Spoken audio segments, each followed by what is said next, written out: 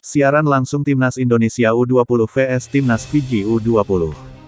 Seperti yang diketahui, turnamen internasional 2023 akan dimulai pada hari ini, Jumat tanggal 17 Februari tahun 2023. Untuk yang belum tahu, PSSI yang dibantu Menteri Pemuda dan Olahraga, Menpora Indonesia, Zainuddin Amali, menciptakan turnamen internasional 2023. Mini turnamen tersebut dibuat sebagai wadah untuk timnas Indonesia U20 yang memerlukan pertandingan-pertandingan uji coba.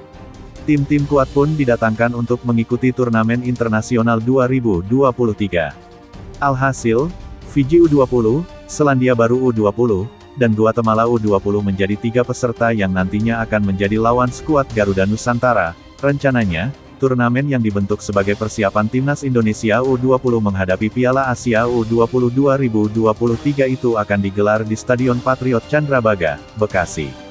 Timnas Indonesia U20 pun akan mengawali perjalanan di mini turnamen tersebut dengan melawan Fiji U20. Lantas sanggupkah pasukan Sintayong melibas Fiji U20 dengan mudah? Satu hal yang pasti, Sintayong merasa tak bisa maksimal mempersiapkan timnas Indonesia U20 jelang laga tersebut. Sebab Sintayong merasa skuad timnas Indonesia U20 masih belum lengkap.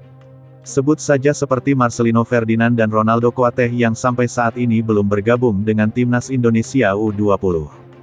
Padahal, pemusatan latihan TC sejatinya sudah berlangsung sejak awal Februari tahun 2023. Karena skuad yang belum lengkap, Sintayong jadi kesulitan mengatur strategi. Apalagi yang belum bergabung adalah para pemain inti timnas Indonesia U20.